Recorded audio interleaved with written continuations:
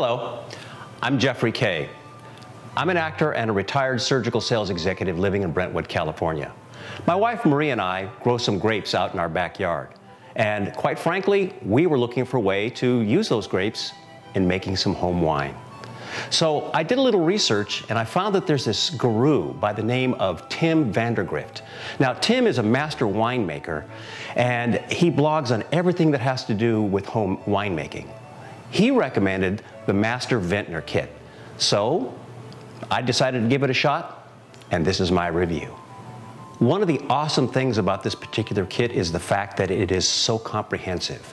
It has everything that you need, all the tools that you require to make wine from grapes to the finished product. So, a little bit more about some of the, the, the, advantage of this, this particular kit is just the quality of the products that you get in here.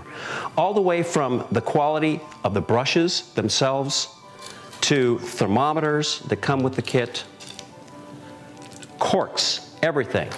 These are all high quality product. And so this is one of the reasons why I chose this particular kit. Now, one of the things that I really like about this is the fact that it has this glass uh, carboy. The carboy basically will allow you to put your wine product in there, let it ferment, and it will sit there and age as long as you possibly want it to without fear of oxidation. Okay? Now, this other container over here is what they call the big mouth bubbler. What I like about this particular product is the fact that it will allow you to start your wine here. This is where you start your fermentation process and then switch it over to the carboy. Real, real superior product line here. Uh, it has just about everything that you, you could possibly use. This particular product, which is really nice, this is called the degasser or the wine whip for obvious reasons. But this allows you to keep your wine from uh, gassing up on you. So this is something that you won't find in a lot of the kits out there. Now, we've talked about, of course, making the wine. What about the taste? Oh my, that came out pretty good. I gotta tell you. It's bright, it's fruity, it tastes like what you want a good bottle of wine to taste like. So, quite frankly, I'm gonna be pleased with this my wife's to be pleased with it as well, so we can't lose. Okay, I've given you some of the pros. Let's be honest and talk about some of the cons. Now, some of the kits that are out there are made in China.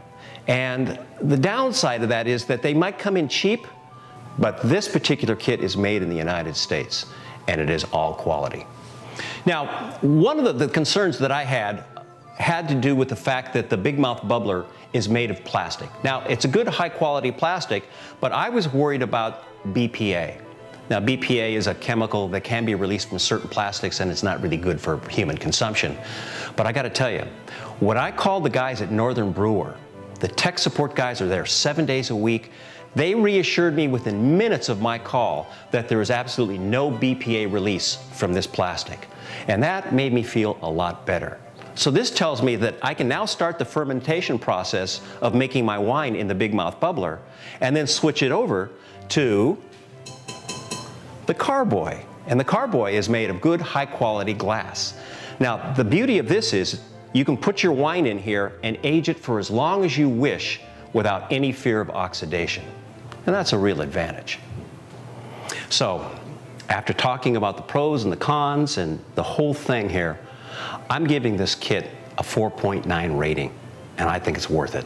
So I hope you guys found this review helpful, and I wish you well. Cheers.